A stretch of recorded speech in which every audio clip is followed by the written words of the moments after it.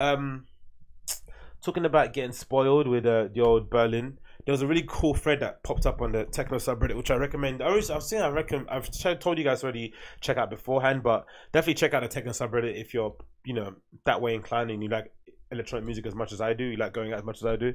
Check it out because there's this really cool thread that someone spoke about that kind of got me thinking about myself as well, right in that regard. Um, where is it? You get spoiled. Duh, duh, duh, Let me see if I can find it. It's a really cool thread that someone's speaking about getting spoiled, but but what is it? It's a cool thread. It's like 100 something comments. I feel I should have saved it earlier. Aye, aye, aye. Where are you? Review. Where is it? Something about being spoiled. Nope, it's not there. Maybe second page. See if I can find it. Bear me one second. Ba ba ba ba ba. Yeah, there we go. The Berlin thing kind of ruined it for me, right? So this is a really cool thread on the subreddit that I think you should really check out. I, I think so personally. I think it's a really very very informative and kind of gets at the heart of how hard it is to kind of you know um, go to Berlin once and ever be the same. Oh, there's an actual. Oh, you know what? Um, have you have you guys seen this? This is what I always do all, all the time when I'm ever about to go to Berghain. I'll go and uh, refresh the Berlin location on Instagram and see what videos people are posting. Um, to see there's always videos people post in the Berghain with you know with a sticker on their phone, of course, just kind of taking in the background noise, which is always quite cool. Um, let's see what people have got this time around. Can you hear that? Wee wee wee wee wee you just can't you can't buy that sound and it sounds so much better in there like it sounds amazing through this anyway in general but look at that everyone's saying berlin best party people just getting just being excited look at that the black space just amazing isn't it really you can't buy it oh wow look at that look at that ar Berghain building i wonder how they do that the closing Again, just just an absolute epic place. You can't buy it. Look at the look at the happy faces in there. Twenty eight hours dancing they did. I cyber got But yeah. So that's that's a cool thing. Anyway, let's go back to the article at, at choice. So um, this is a good cool thread that I thought was really interesting and kind of got speaking about what I was kind of thinking about a few weeks ago about my kind of going out habits and how I want to kind of change things around and you know and it also kind of got me thinking about the stuff I want to do in terms of being financially independent, I have my own business and that sort of malarkey. You have to kind of make some sacrifices here and there. I mean, DJing, you have to kind of be a little bit um, stricter with how you spend your kind of free time. Um, so my crisis confidence came in terms of just like realizing that maybe all these kind of local club nights I'm going to that don't really have a high production value that you know essentially are what I used to do back in the day with the night so special I used to run in um or I used to co-run in the Alibi uh, a long time ago it's just you know you kind of making a flyer online, getting booking some DJs, paying the money, and then getting them to play in the bar that you're playing in, right? Or the bar that you kind of quote unquote hired for the night. So there's not much kind of effort that goes into those kind of nights, right? And the usually DJs you're getting are kind of up and coming. You're not really you know of that level that you'd kind of want to maybe go out your way to go see. But when you go to like an actually and then plus add the caveat onto it, I'm actually aspiring to be a DJ myself, right? In that regard, have that kind of be one of the kind of um tools in my arsenal. So with that, you kind of because you're exposed to that in that regard, you kind of want to go to a night and get inspired and get motivated. You don't want to go somewhere and be like, "Oh, I could play much better than this," right? That's not the kind of feeling you want. You want to go somewhere and feel as if the person is showing you just how far away you are from that level, right? So that you've got something to aim for. You don't want to go to a nightclub and just feel like, "Oh, this guy's this guy or girl is horrible." So I'm thinking, you know what? Maybe I should be spending more of my money going to actual expensive production field club nights, like the stuff that Krankbrothers do, the stuff that Secret Sundays do, the stuff that um, you know, World Unknown do, the stuff that Body Hammer do, like actual nights that I put on that are actually, you know, high production value, or the stuff even at Fold, where there's always kind of big lineup DJs playing.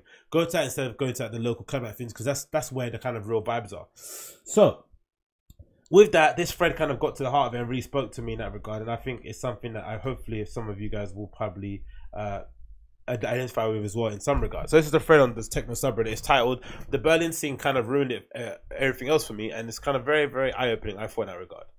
Um, let's read it. So it says the following I don't want to sound snobby or elitist, but after going to Berlin more than 10 times over the past years, the last time being this summer for three months, I'm having a hard time enjoying myself in other places it's very difficult for me to not to create expectation when I go to other cities, hoping that the parties will be remotely comparable to Berlin. But it's almost never the case, which is very true. I think you have to kind of be aware of it once you go. that this is. This is just like an anomaly. It doesn't exist even in Germany. There's no other city in Germany that's similar to Berlin. It's just weird, kind of like place on its own. It's kind of cool. It's kind of caught in a time warp. It's a bit, you know, stuck in the past in that regard, how they go and how they act, how they kind of maneuver around the city, their views around work life balance, like just in general, everything is very, very different from any place that you'd be, especially in most metropolitan cities. So that's the thing you have to kind of get over really quickly because you start tapping into it like, well, I could live here forever. But again, I think it's a place that you go for a bit or maybe for a while, then you kind of go somewhere else, or maybe it's a place that you go to when you're more, a bit more mature and you kind of know where to kind of settle down, right? But anyway, it continues. I'm in Amsterdam right now, and I was so excited to go to De School and Shelter this past weekend. However, my experiences in these clubs were extremely lackluster. The clubs themselves were cool, but the crowd was just extremely boring. I thought Amsterdam was supposed to have the second best scene in Europe after Berlin, maybe competing only after London. But again, you know, when you put something on a pedestal and you go there, you know, it's never the same. To be fair, De School this past Friday was having more of a house disco night. However, I was expecting an interesting mixed crowd, but it wasn't the case. It was just a bunch of young, white, straight guys and girls not even dancing much, hanging out in circles and chatting all the time. Some of them, of course, didn't respect the no photos policy. No crazy outfits, no one dancing their asses off. Everyone was very uptight and reserved. Seeing the toilet stalls vacant all the time without queues is very weird to me now. Haha. Don't even get me started on shelter. The crowd was even worse. They could I couldn't stay there for two hours the music was good though. So that's that's that's that's essentially London.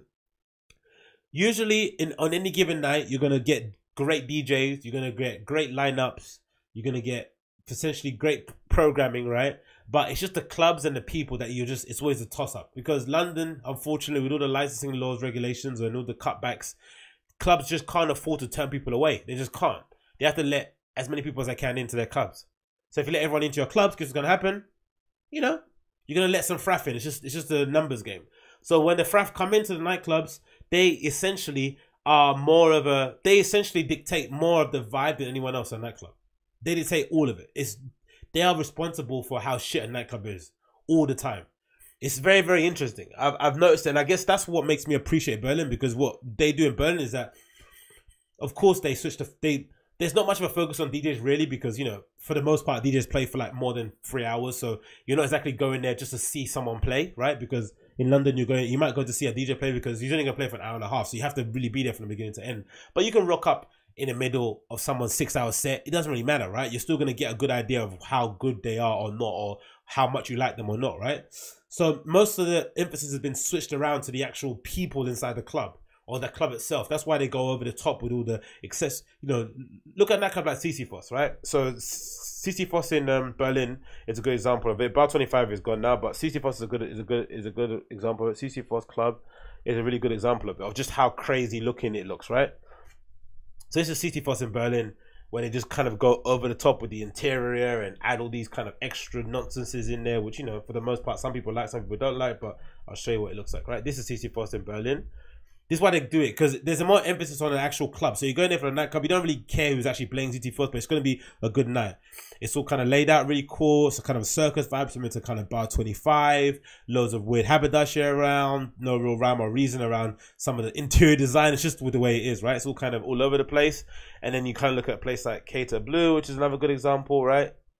In Berlin too. Similar sort of vibe. Very kind of, you know, haberdashery stuck together, pieces and bits and pieces, all kind of molded together. So you kind of go somewhere like this, not because you know Ricardo Villalobos is going to play there, but because it just looks like a cool venue and it's open until eight o'clock in the morning, right? That's kind of what they've done really great at.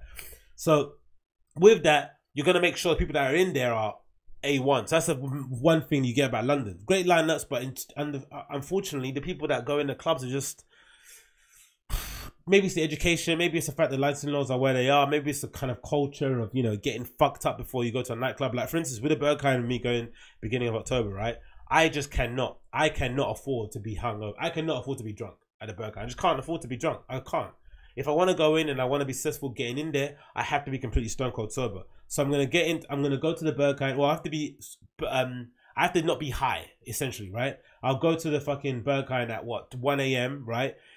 Maybe with a couple of beers in me that I've kind of had on the way there, and that's it, right? And which is completely opposite of what I do in London, right? You go to a nightclub and you're hammered by the time you get in because you don't want to spend too much money on drinks. But in Berlin, you've got the added benefit of low ticket entry prices, low drink prices. Everything is kind of set up for you to kind of have a really long uh, night out, pace yourself in a really good way. And that's something you learn a lot when you get there, right? You start you start going hard the first couple of times I went there, but then you realize, oh no, you have to pace yourself out in Berlin.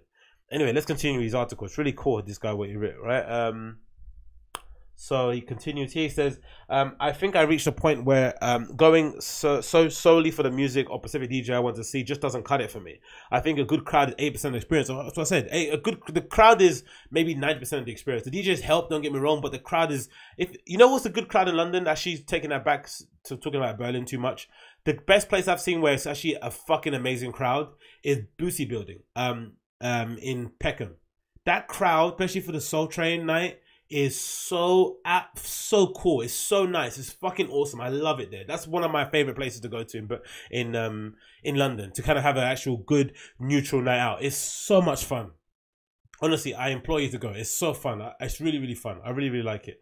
Um so yeah, that's that's where it's only the best place. But again, that's probably more to do with the area. Peckham's probably got a bit more of a mature. It's it's a lot more of a. It's more of a eclectic bunch of people. They're a bit more. It's a bit more range. It's not the same kind of people. There's the, the ages are a bit different. Even I remember going on art tours in South London. It was a lot better than the ones I went. The the kind of the the gallery openings in London in East London were a little bit you know the same sort of hipsters going there. But in South you get different kind of vibe of people in there. So again, that kind of works for me. Um, blah blah blah. I know I know that they, they try putting stickers on phones and having a door policy. Fold as well does a good job of doing that actually to be fair. I'm gonna be honest, I'm gonna back them up. Um door policy, the bouncers were asking questions and I saw a couple people getting rejected from De School and shelter, but it's still not remotely comparable. I was also in London a few weeks ago. I had a terrible experience at Corsica where I almost got kicked out of a club. The bouncers came after me in the toilets and searched me for drugs. Luckily, they didn't find that I had. I left 10 minutes later, an absolute mood killer, and will never go back. A club where there's staff watching you all the time is just unthinkable for me now. I think the closest experience to a Berlin party was Bassiani, minus the drugs. Also been to clubs, raves, and festivals in NYC in Los Angeles. Blah, blah. I'm not sure what I want to achieve with this post. I guess it's my frustration talking. Maybe I need a break. I love techno with all my heart, but I think it, I should listen to my uh bedroom listen listen to my into my bedroom for a while or better to save my money and go to berlin again than going out frequently and not having fun does anyone else feel the same ps don't tell me i'm not get yeah exactly go right place yeah i agree i feel the same too i've been there myself my friend and again i just think the best way to deal with it is to kind of understand that unfortunately or un- unfortunately, unfortunately, Berlin is an anomaly. It's not the. It's not the. It's it's the exception, right? It's not the norm. Most cities are not like Berlin. Most cities don't, you know, give nightclubs funds to kind of, you know, soundproof their buildings so they can, you know, make sure that they live uh, cohabitingly well with their neighbors. They don't do that. Most boroughs, you know, accept the highest bid get the money in the coffers, line their pockets, tear down the buildings, actually make the place vibey and you know prosperous, and just stick another kind of high-rise building there, right? Berlin works hand in hand with clubs. They consult loads of drug awareness programs. It's a completely different culture than anything that we're kind of used to in London here for the most part. So it's an anomaly in that regard. But the good thing about it is that it's an anomaly that's fairly easy to get to. It's in if you live in Europe, it's most trips to go to Berlin, even in the peak seasons, are not going to be more than two hundred pound tickets, right? You can plan them in advance and maybe get them under one fifty. The one I'm going to now in October is about 50, 60 pounds return, right? Crazy prices you can get, especially outside the summer months. You can go if you want to, right? You just have to kind of um, you kind of have to make the you kind of have to make the choice of kind of taking away um taking the coins or taking the funds that you would have spent going to Corsica, going to Oval Space, going to Fabric, and put that money into kind of maybe going to festivals and seeing some bigger DJs playing and maybe more of a curated space at Junction Two, one of my best, one of the best festivals I've been to in London, hands down. Like maybe the best techno electronic festival I've been to ever. Really amazing, what really well done, great programming, great sound, great organization, just perfect festival and then spend the other bit of money going to all the other places that you want to go to. Maybe going to Dekmantel, going to Berlin to go visit a couple times a year. That will probably be a lot more better. And I think if you add actually add up the amount of money you spend going to bars, going to um, local nightclubs to go and see DJs playing venues that you know don't necessarily get the culture. It will probably exceed what you'd spend going a couple trips to Berlin, maybe one in the summer, one in the winter, or maybe three: one in the New Year, one in the summer, one in the winter. Going to a couple festivals, right? It'll probably exceed that. I guarantee you. So I guess I would say if if you're out there and you're kind of getting a bit you know down with all the whole London stuff, just look at the scenario what it is London's great for gigs. It's great for those kind of live shows. It's great for DJs in general too. You can go to some big nights out, but try and go to the ones that are actually put on by big promoters that actually know what they're doing, like the Krankbrother guys, right? And they actually put a good night on, like the Nina Kraviz thing I went to, and the Walthamstow Assembly Hall was absolutely insane, right? They went out. They, I'm not sure if they even made any money on that night, right? It was just insane the level of production that went into it. Then going out to like a local nightclub that doesn't really have good sound. They've got a good DJ in, but the culture does, but they don't really get it, right? The security guys don't get it. The bar staff don't get it no one really gets what's going on in there and it's just like a bit of an annoyance and everyone else in there is having fun but it's just a weird vibe. That's essentially what we see in berlin. The vibe is the most important thing. But yeah i've been there. I feel the same. And yeah the thing that i do is just try and book as many trips as i can to berlin man. That's the only thing you can do. Book as many trips as you can to berlin get the fuck out of here and enjoy yourself over there. And then hopefully with that you can kind of get a bit of an appreciation for what what london has to offer too. London is quite cool in that regard. I think like i said every every evening or every weekend you can go and see some of the best DJs playing out ever. And again, it's not it's not it's not Berlin. It's never going to be Berlin, but it's you know it is what it is. You kind of have to make the best of it. I think I'm, I'm done with kind of complaining about how shit the Berlin, how shit the London club nights are compared to like other places. I think it's it is it's got its unique perks to it. I think, and again, I still maintain you still get the best a range of music genres to listen to in a night out in London than anywhere else in the in Europe. I think so. Um, I'm just kicking here on Resident Advisor. I'm going to the 18th, right, the Friday, and already, um, you got you know great lineup already. You got Aphrodite, Nick Castle playing at E1. You've got um, what else? What else have you got here? You've got Belair and George Lai playing at the Jazz Cafe. You've got Perks playing at Corsica Studio. You got Pete Tong playing at Fabric. You've got Branko and Dienga playing at Phoenix. You've got Harry Shotta playing at Egg. See, just mad lineups out here that are really fucking good. What's the source? No player heard that lineup. Um, you've got Rapture and Cylon playing at Fold. You got English Disco Lovers at Calf. You got Pete Rock at XOYO. Come on, man. You know I mean, you got Francis De La Garde playing at Pickle Factory all night. Miriam Cab playing at So 200. See, oh, you got Cave Imp Night at Call, just going. Oh, Joy Orbison, Total Freedom, Zakia, Mamma Mia. You've got Inferno at the Yard, super amazing gay night. You've got Disco Odyssey.